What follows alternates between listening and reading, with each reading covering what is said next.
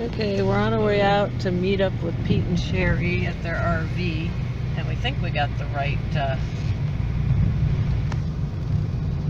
right drive to go down. Not quite sure. The Place isn't full.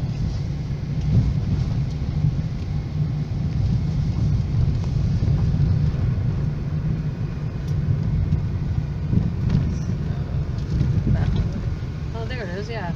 Valley Plaza RV Park. So they're So pulled into we- the hotel. There they are, isn't that them? Somebody's Thank you. there listed. Uh,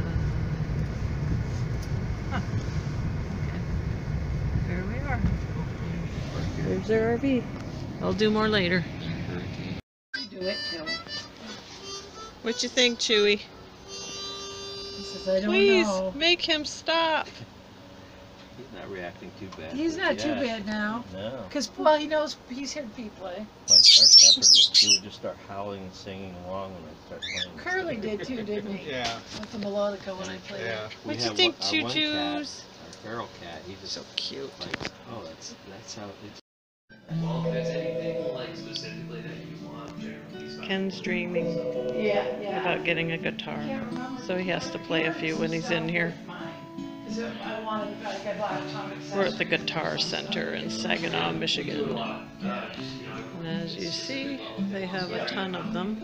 Fortunately, we can't keep everything Matt on the Leister. showroom floor, but Matt you know, Leister. if somebody like really wants something and like. It's all wants a climate it, control room. uh, I do a lot of that for them, so, If you guys have any questions or want to try anything out that's too high to reach, just let me know, anybody who does hypnosis? I teach me how to play.